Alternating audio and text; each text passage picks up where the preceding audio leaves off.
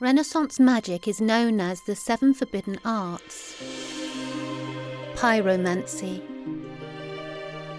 Hydromancy, Geomancy, Aeromancy, Enchantment, Chiromancy, and Necromancy. The age of magic had begun, and those who sought knowledge of the forbidden arts grew strong. Leaders rose to power and quickly assembled armies of followers.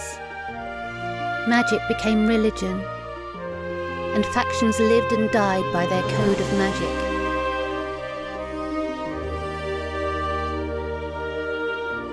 An evil necromancer by the name of Voltaire spent his days practicing the art of black magic.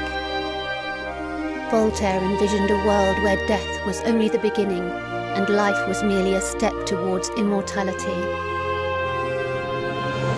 Such an imbalance of existence was troubling to the other factions. To protect the balance of life, an alliance was formed, known as the Council of Magic, The council swore an oath to preserve balance in the world by means of the forbidden arts, and by combining forces they drove Voltaire far away from these lands.